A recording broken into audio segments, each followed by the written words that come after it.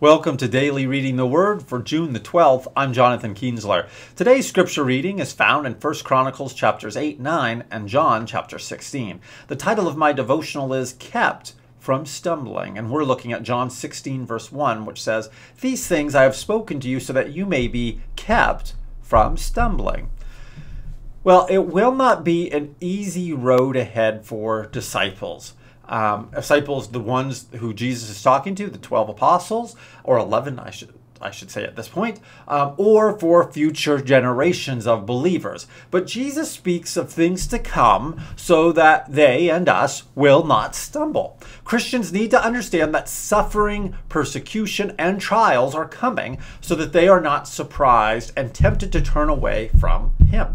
It's it often is the case when a person becomes a Christian, they think that life is going to be so much easier. And they wonder, why am I going through these difficult things? Is it because I'm not walking after God? Is it because I've made a mistake in following Jesus? Is it because something wrong is wrong in my life? Well, it could be that something is wrong in, in your life and God is trying to get your attention, but it could also be that God allows trials for his purposes, even to refine us, to bring us into places we wouldn't normally go to and contact with other people.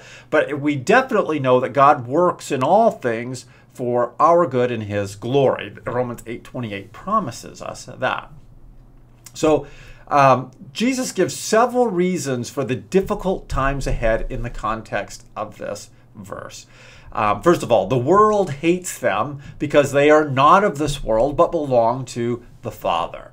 Um, Jesus wants the people to know that we're not of the world, and for that reason, the world hates us. John chapter 15, verses 18 to 20 reminds us of this. If the world hates you, you know that it has hated me before it hated you. If you were of the world, the world would love its own. And so you wonder, why doesn't the world love me? Why doesn't why don't people um, appreciate who I am even as a Christian living for Him. Well, you're not of the world, so the world doesn't love you. And it says, because in verse 19 of chapter 15, but because you are not of the world, but I chose you out of the world, because of this, the world hates you. And so, and also, um, chapter 16, which just then the following verse, verse 2, says, They will make you outcasts from the synagogue. Now, this meant cultural ostracism. So, what will it look like in terms of the world hating you? Well, it will be even they cast you out of their community. They no longer recognize you as somebody of, of worth um, and uh, of worthy to be listened to as well. Um, but it is it's painful and hurts to be cut off now for Jews to be cut off from fellow worshippers um, and also then from society in general, from your friends and so on. Jesus reminded the disciples in um, Luke chapter 12, verses 49 through 53, that he didn't come to bring peace to the world, but he came to bring division um, and even cutting across family lines. And it really is painful. So he reminds them here um, that order, so that you wouldn't be kept st- from stumbling, that um, so that you would be kept from stumbling. He reminds them that they'll go through difficult times, um, and even from the world. Now, there will be people in the world that will even seek to kill Christians, thinking that they are pleasing God. Now, John 16, 2 goes on to say, An hour is coming for everyone who kills you to think that he is offering service to God. Pre Christian Paul, who was a Jew, definitely felt this way about his persecution of Christians.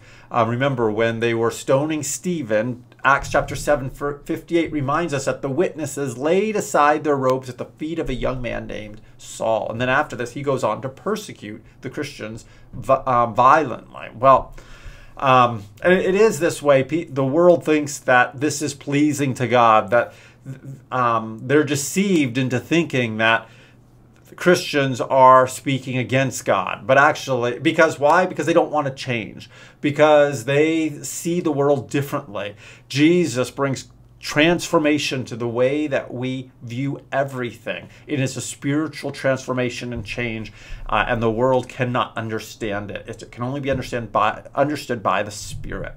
So, in their persecution of Christians, the world reveals that they do not know the Father or Jesus. And we see this in John 16 3. These things they will do because they have not known the Father or me. We could look back at John 15 21, which says, But all these things they will do to you for my name's sake, because they do not know the one who sent me. So they will they will be trying to destroy Jesus and his people. Now, at the end of the chapter, Jesus reminds the disciples that while they will have tribulation in the world, their Lord and Savior has overcome it. John 16 33, these things I've spoken to you so that in me you may have peace. In the world you have tribulation, but take courage, I have overcome the world. Now, one of the awesome things is um, he's with us. And so the overcomer is with us to help us. We also need to remember that even as Jesus died but overcame the world in his submission to the Father, we too might die um, in terms of at the hands of the world and suffer. But God will deliver us and exalt us also in his timing as well. And he promises that we will have peace. Not only did the one we are following make it through and is now glorified, but he promises us the help of the Holy Spirit. John 16, 7 says, I tell you the truth. It is to your advantage that I go away. For if I do not go away, the helper will not come to you. For if I go, I will send him to you. So, and then also we are guaranteed that the Father will hear and answer our requests so that our joy may be full in John 16, 24. So we have all the resources we need to make it through. Jesus does not want us to turn back. He does not want us to stumble. But we, he promises we're going to go through difficult times. And one of the reasons, and the main reason that is, is because he's taken us out of the world in the sense of made us not of the world. Um, he's made us a new creation in Christ. And the world hates that because it doesn't want to change. But the, by the transforming work of Jesus in our lives, we're able to give the gospel to others. And God then goes through that again with other people, bringing them out of the world through the work of the Spirit in their lives. So, how do you feel about tre- being treated the same way as Jesus was by the world? Um, it actually is quite humbling on one hand that we're honored to do so, isn't it? And we're also encouraged that God is at work in us in ways we cannot see. Even as through the death of suffering and death of Christ, God brought redemption to the world, so he is at work in our suffering. Does Jesus' promises of peace and joy cause you not to stumble? we need to hold on to that, and it's a peace that the world can't take, take away, can't understand, um, but it holds us, doesn't it? And what is life without peace and joy? Jesus wants us to have that. So if you don't have that, I would encourage you to ask for it and, and keep your eyes on Jesus, the author and perfecter of our faith. Let's pray. Heavenly Father, I thank you for, for Jesus and his promises and his teaching here. He doesn't want us to stumble. So, Lord, let us follow Jesus. Let us take to heart what he says um, and let us appreciate that he's with us always. He gives us his peace and his joy and all that we need for life in this age. In your name we pray. Amen.